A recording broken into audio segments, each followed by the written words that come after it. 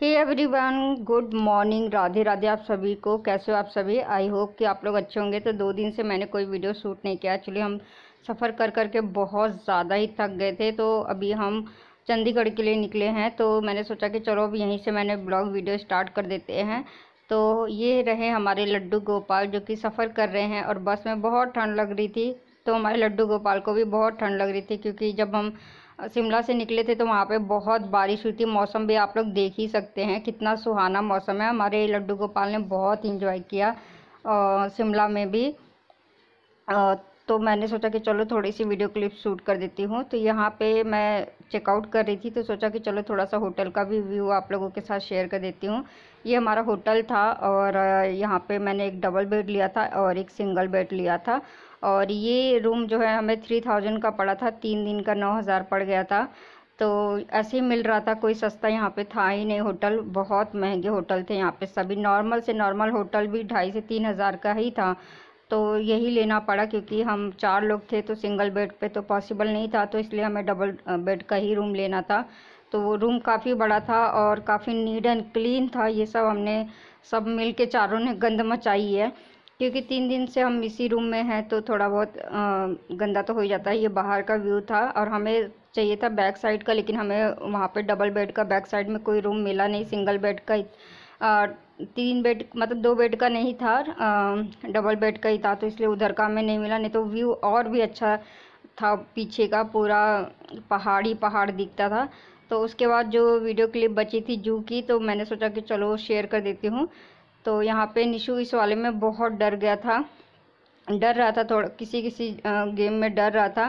तो बहुत सारे गेमिंग के वीडियो वगैरह सूट नहीं हो पाई क्योंकि जब हम इंजॉय करने के लिए जाते हैं तो हम आ, हर चीज़ सूट नहीं कर सकते हैं और पॉसिबल भी नहीं होता है। या तो हम इंजॉयमेंट कर सकते हैं, या तो फिर वीडियो क्लिप शूट कर सकते हैं। कुछ वीडियो तो मेरे हस्बैंड ने ही शूट किया, मैंने तो शूट भी नहीं किया है। क्योंकि उसमें फ़ोन अलाउ ही नहीं था लेके जाना क्योंकि झटके वगैरह लगते तो फ़ोन जो है खाई से नीचे गिर जाता। तो कुछ में तो फ़ोन बिल्कुल भी अलाउ ही नहीं कर रहे थे कि फ़ोन आपको लेके जाना है। तो पिछले वीडियो में मैंने आपको इनके चार्जेस वगैरह बता ही दिए थे तो आप समझ जाना कि यहाँ पे मतलब अलग अलग पर्सन के हिसाब से यहाँ पे अलग अलग पैकेज ही है। अगर आप पैकेज लेते हो तो आपको बेनिफिट है, क्योंकि पैकेज में आपको बहुत सारे झूले वगैरह मिल जाते हैं झूलने के लिए। और अगर आप झूला वगैरह नहीं झूलना चाहते हो, सिर्फ़ व्यू को एंजॉय करना चाहते हो तो आपको ढाई सौ रुपये पर पर्सन टिकट यहाँ पे है। तो मैंने आपको पिछली वीडियो में बता ही दिया था कि यहाँ पे बाईस सौ रुपये पर पर्सन पैकेज था। निशु का बाईस सौ रुपये का कुछ था। हस्बैंड ने कुछ बड़ा वाला पैकेज लिया था। उनका थ्री थाउज़ेंड के समथिंग का कुछ पैकेज था। तो इस जू के अंदर ही हमारा बहुत ज़्यादा पैसा लग गया। जितना हमने तीन दिन में शिमला में पैसे नहीं खर्चा किया, उतना एक दिन में हमारा जू के अंदर पैसा चला गया। तो अगर आप लोग इन सब चीज़ों को इन्जॉय करना चाहते हो ऐसी जगह पे तो आप लोग विज़िट कर सकते हो। काफ़ी अच्छा एक्सपीरियंस था हम लोगों का। और अच्छा लग रहा था पहाड़ों में झूला वगैरह काफ़ी अच्छा लग रहा था। उसके बाद नेक्स्ट डे मॉर्निंग में हम जो है निकल गए थे बस अड्डे के लिए। तो थोड़ा सा वीडियो शूट कर लिया था मैंने तो अब हम बस अड्डे जा रहे हैं। एक्चुअली हम दिन भर थोड़ा सा चंडीगढ़ बिताएँगे, क्योंकि चंडीगढ़ में मुझे एक हस्बैंड को पार्क दिखाना है, जो कि आर्ट एंड क्राफ्ट से बना हुआ है। बहुत सुंदर है, वहाँ पे कांच की चूड़ियों का पत्थर की टाइल्स का बहुत सारे स्टेच्यू बने हुए हैं, बहुत सुंदर लगता है। उसके बाद चंडीगढ़ से दिल्ली का रास्ता ज़्यादा था नहीं तो इसलिए हमने दिन भर चंडीगढ़ में बिताया और रात को बस पकड़ी, फिर सुबह हम दिल्ली पहुँच गए थे। तो हमारा तीन चार दिन का ट्रिप था, लेकिन बहुत इन्जॉय किया। और सबसे अच्छी बात है, हमने इस बार शिमला इसलिए चुना है, क्योंकि शिमला मनाली के अकॉर्डिंग बहुत शांति वाली जगह है। यहाँ पे ज़्यादा शोर शराबा नहीं होता है यहाँ पे ज़्यादा भीड़ भाड़ नहीं होती है। जैसे मनाली में तो मनाली में क्या होता था कि पैकेज हमें लेना पड़ता था और बहुत ज़्यादा हड़बड़ तड़बड़ होती थी। सुबह आठ बजे नाश्ता करना ही करना है, नहीं तो आठ बजे के बाद आपको नाश्ता नहीं मिलता था। फिर नौ बजे गाड़ी लग जाती थी, जहाँ पे जाना है उसके लिए होटल की तरफ़ से ही गाड़ी होती थी। इस बार हमने सब कुछ खुद से बुक किया था। तो बहुत ज़्यादा बेनिफिट था और काफ़ी मतलब ऐसा नहीं था इस बार कि हड़बड़ तड़बड़ में हमें कहीं जाना है, कुछ करना है, फटाक से उठो, फटाक से ये करो। तो बहुत रिलैक्सिंग था, बहुत मतलब सच में मतलब मन को, दिल को और शरीर को बहुत शांति मिली। शरीर में बिल्कुल भी थकावट नहीं हुई। हमने इतनी चढ़ाइयाँ करी यहाँ पे, इतनी सीढ़ियाँ चढ़ी, क्योंकि यहाँ पे हर जगह सिर्फ़ और सिर्फ़ ज़्यादातर चढ़ाइयों पे ही सब कुछ है। नीचे कुछ था ही नहीं मतलब बिना चढ़ाई किए, बिना सीढ़ियाँ चढ़े, बिना स्लाइडर वाली सीढ़ियाँ चढ़े कुछ था ही नहीं। तो लेकिन गाइज़ सच्ची बता रही हूँ कि बिल्कुल भी शरीर को थकावट नहीं हुआ। बहुत रिलैक्स से हम लोग आए और बहुत आराम से बस मिल गई। कुछ भी ऐसा नहीं था जैसा मनाली में हर बार होता था कि आ, आपकी वहाँ पे आपको इतने बजे पहुँचना है आपको इतने बजे बस पकड़नी है ऐसा कुछ नहीं था। हमने सब कुछ खुद से चुना था और इसलिए बहुत अच्छे से हम इस वेकेशन को इस मोमेंट को एंजॉय कर पाए। फैमिली के साथ एक छोटी सी ट्रिप बच्चों की छुट्टियाँ पड़ गई है तो फैमिली के साथ एक छोटा सा ट्रिप तो बनता ही था। बहुत टाइम हो गया था मैं कहीं गई भी नहीं थी।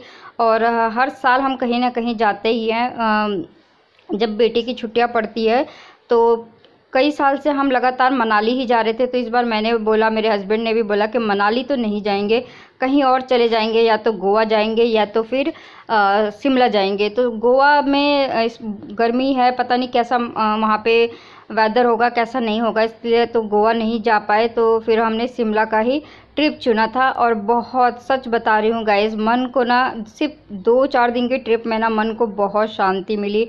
बहुत अच्छा लगा, उस दिन मैं बोल ही रही थी कि मन कर रहा कहीं चली जाऊँ। तो मेरा माइंड भी ना गाइज़ ऐसा ही है, जब मेरा दिमाग सनकता है ना तो मैं कहीं ना कहीं चली ही जाती हूँ। आप सबको पता है कि मेरे दिमाग का कुछ पता ही नहीं होता, मैं दिमाग से थोड़ा सा सनकी भी कह सकते हैं और खिसकी हुई भी कह सकते हैं। तो बस मन किया तो एकदम से मेरा ट्रिप का प्लान बन गया। कोई प्लानिंग नहीं, कुछ भी नहीं, कोई ख़ास तैयारी नहीं, बस फटाफट शॉपिंग करी, बस ये था कि जाना है। और पहली बार मुझे यहाँ पे ये जंपिंग वाली वीडियो में डर लगा, कोई वीडियो शूट नहीं हो पाया क्योंकि हादसा ही कुछ यहाँ पे ऐसा हो गया मेरे साथ कि मैं बिल्कुल खाई में जाने वाली थी। मैं बहुत ज़्यादा डर गई, मेरे हस्बैंड बहुत ज़्यादा डर गए। तो मैंने बोला, भैया, अभी का अभी मेरे को यहाँ से उतारो, नहीं तो मैं बहुत चिल्लाई, रोने लग गई थी। इनफैक्ट मुझे ऐसा लगा कि मुझे किसी ने खाई में उठा के फेंक दिया। तो ये भी वीडियो क्लिप ये छोटी छोटी वीडियो क्लिप मेरे हस्बैंड ने ही शूट किया है। यहाँ पे मैं और मेरी बेटी बैठे हैं, यहाँ पे देख सकते हैं, जहाँ पे चार लेडीज़ मतलब दो लेडीज़ और बैठे हैं। तो चार चार का पेयर बैठाया था, क्योंकि बैलेंस भी करना होता है ना झूले झूले को। क्योंकि पहाड़ों में है और साइड में पूरा का पूरा खाई है बाप रे बाप, इतनी डरावनी जगह पे ऐसा नज़ारा मैंने कभी ज़िंदगी में सोचा भी नहीं था कि ऐसे डरावनी जगह पे भी ये वाला एक्सपीरियंस मेरा कभी होगा। लेकिन कुछ भी कह लो गाइस, बहुत मज़ेदार एक्सपीरियंस था। ये वेकेशन तो मैं सच में सालों साल नहीं भूल पाऊँगी बहुत अच्छा वेकेशन था मेरा तो फ़र्स्ट टाइम क्योंकि सब कुछ रिलैक्सिंग के साथ था, शांति से था, कोई हड़बड़ तड़बड़, भाग दौड़ नहीं, यहाँ जाना, वहाँ जाना, हमारे गाड़ी वाले भैया भी इतने मतलब यहाँ के लोग बहुत शांतिपूर्वक हैं। नो लड़ाई झगड़ा, नो कुछ भी हो जाता था ना, वो चुपचाप सुन के चले भी जाते थे। आपको मतलब पलट के जवाब भी नहीं देते कि हाँ आपने ऐसा क्यों बोला? नहीं तो पिछले दो बार ना मेरा मनाली में आ, कुछ लोगों से झगड़ा भी हो गया था गा, मतलब गाड़ियों में। आ, वो अपनी अपनी चला रहे थे क्योंकि एक ही गाड़ी में चार चार लोगों को बैठा के लेके जाते थे क्योंकि गाड़ी बुक थी पैकेज के हिसाब से था। तो कई बार मेरा कई लोगों से झगड़ा भी हो जाता था। तो इस बार ये सब चीज़ें नहीं हुआ ना मुझे बहुत अच्छा लगा। मैं यही चीज़ तो नहीं चाहती थी कि ये चीज़ हो क्योंकि मैं जो है ना थोड़ा सा गर्म दिमाग की हूँ। कुछ भी ऐसा होता है ना तो मेरा झगड़ा हो ही जाता है। लेकिन बहुत मज़ा था कुछ भी कहो। आप अगर आप ध्यान से देखोगे तो साइड में आपको पहाड़ और खाई दिख रहा होगा। अगर ये थोड़ा सा और पीछे जाए ना तो मतलब हार्ट बीट तेज़ हो जाती थी कि बस अगर झटका भी लगा ना तो आदमी कहाँ जाएगा कुछ पता ही नहीं है। आई होप गाइज़ कि आप लोगों को मेरे ये मोमेंट्स ये वीडियो क्लिप देख के अच्छा लग रहा होगा घर बैठ के। आप लोग भी इंजॉय कर रहे होंगे मेरे वीडियो को। आ, लेकिन गाइज़ मैं एक ही एडवाइस दूँगी कि अगर आप ज़िंदगी में ना एक बार शिमला ज़रूर जाना। शिमला के जो आ, देखने लायक कुछ भी नहीं है मैं सच्ची बता रही हूँ शिमला में दो दिन तीन दिन से ज़्यादा ट्रिप का कुछ है भी नहीं लेकिन आपके सबसे ज़्यादा जो पैसे लगने वाले हैं ना वो यहाँ पे जो एडवेंचर वगैरह होते हैं जो ये सारी चीज़ें होती है ना इनमें आपके बहुत पैसे लगने वाले हैं। तो शिमला अगर जाए तो आप इन सब चीज़ों को ज़रूर विज़िट करें क्योंकि आपके लिए बहुत यादगार पल बन जाए बन सकते हैं। तो ये ट्रिप तो मेरा बहुत बहुत अच्छा वाला ट्रिप था। बाकी आप लोग बताना कि आप लोगों को वीडियो कैसा लगा। मैं पूरा उम्मीद करूँगी कि जितना मैं इंजॉय कर रही हूँ अपने वीडियो को शेयर करके उतना आप लोग भी इंजॉय कर रहे होंगे मेरी वीडियो को देख के। ये वाला तो पल ओ माय गॉड मेरे हस्बैंड ने नीचे से सूट किया था। कितना ऊंचाई पे हम लोग हैं, सो सकते ऊपर बादल नीचे खाई, साइड में पहाड़ी, पहाड़, क्या हालत थी हम लोगों की? बता नहीं सकती। फिर हम जब होटल वापस आ ही रहे थे तो बर्फ़बारी मतलब बर्फ़ की बारिश शुरू हो गई तो पूरा नज़ारा ही यहाँ का शिमला का बदल गया था। इतना सुंदर मोमेंट था ना सोचा आप लोगों को दिखा देती हूँ शाम का। फिर next day oh my god next day का ट्रिप जो था ना बहुत अमेजिंग था। मैं आपको ये एक्सपीरियंस ना मतलब बता नहीं सकती हूँ।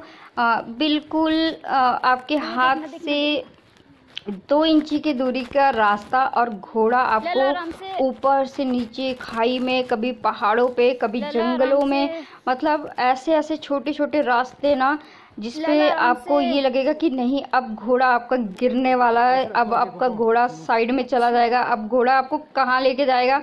मतलब उसी पल ये घोड़े इतने ट्रेंड होते हैं ना कि मतलब यही वाला तो जो राइड थी ना गाइज़ मैं आप लोगों को मतलब अपने मुँह से क्या एक्सप्लेन करूँ? जो उस समय जो मैंने फील किया ना जो मेरी फैमिली ने फील किया जो मेरे बच्चों ने फील किया ना उस डर को उसके बाद जो खुशी थी ना उसको पूरा करने का बस वो मैं एक्सप्लेन नहीं कर सकती हूँ लेकिन जब ये था कि पूरा हो गया तब जान में जान आई कि हाँ हो गया क्योंकि वो तो मतलब जानवर ही है ना ट्रेन किया गया है लेकिन फिर भी डर लग रहा था। फ़र्स्ट टाइम मेरा बेटा खुद से ऐसी ऐसा सफ़र किया है ना कि मैं आपको एक्सप्लेन नहीं कर सकती मैं सच सच्ची बता रही हूँ गाइस इस पल को भूल नहीं सकती। अभी तो हमारा घोड़ा नीचे आ गया सड़क पे क्योंकि अब हम वापस आ रहे थे। तब मैंने थोड़ी सी वीडियो क्लिप शूट किया था लेकिन बहुत डरावना मोमेंट था शूट करना पॉसिबल ही नहीं था।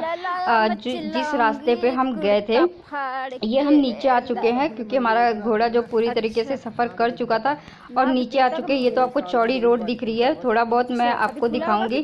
जब मेरे मुँह से आवाज़ निकल गई थी ये दिखा रही हूँ मैं साइड में खाई अच्छा, और अब भी आपको दिखाऊँगी। रास्ते कि आप सोच सोचोगे गाइस कि आप एक बार को मतलब इस वाले राइड को करने से ना डर जाओगे अब देखना अच्छा। ये ये रास्ता था और आगे जाके इससे भी पतला रास्ता हो जाएगा दोनों तरफ़ आपको खाई दिखेगी और दीवाना नो सीढ़ियाँ नो अच्छा। मतलब कोई सीढ़ी नहीं है घोड़ों ने ही सीढ़ियाँ बनाई है चल चल के यहाँ पे और उसी के ऊपर ऊपर घोड़े चल रहे हैं। अभी आपको सपाट रास्ता दिख रहा ना, लेकिन आगे जाके कोई सपाट रास्ता नहीं था। मैं तो ये सोच के हैरान थी कि मेरे बेटे ने कैसे इस राइड को किया। और बहुत अच्छा एक्सपीरियंस था गाइस ये देखिए साइड में आपको खाई दिख रहा है। और अब देखना मतलब रास्ते देखो गाइस रास्ते। इन रास्तों पे ये घोड़ा चल रहा है। अभी नीचे जाएगा फिर ऊपर जाएगा, फिर नीचे जाएगा, जो कि कोई सीढ़ियाँ नहीं थी, कोई रास्ता नहीं था। इन घोड़ों ने ही बेचारों ने रास्ता बनाया है अपने चलने के लिए और इतने ट्रेंड ये घोड़े होते हैं ना मतलब क्या बोलूँ, बहुत गज़ब का एक्सपीरियंस था ये देखिए। मेरे हस्बैंड ने, मेरे बेटे ने ना बहुत अच्छे अच्छे वीडियो क्लिप बनाए, मैंने मैं ही डर के मारे नहीं बना पाई थी। I hope you like this video guys thank you for watching bye